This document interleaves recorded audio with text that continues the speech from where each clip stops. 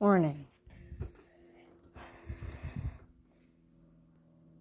Before this video starts, if you're not good at flips, are you like too afraid or something, just don't try it. And you can watch the whole video if you want before you practice. Make sure not to break your neck. I know you don't know if you're gonna break your neck or not. Number one, step one. Camera might fall down a little bit, but that's okay. You have to like get high. And this is for the trampoline.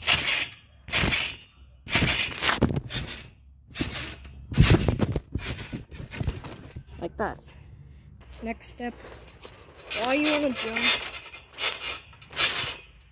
you wanna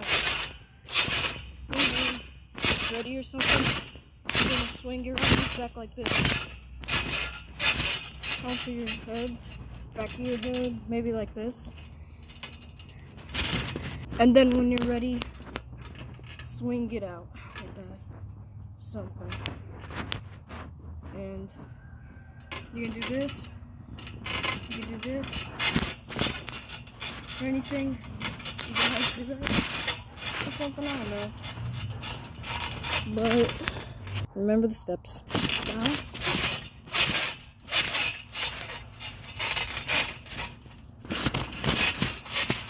Arms back.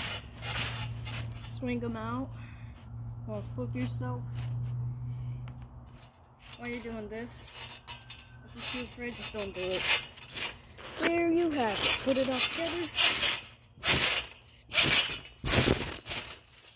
May not land it, but that's okay.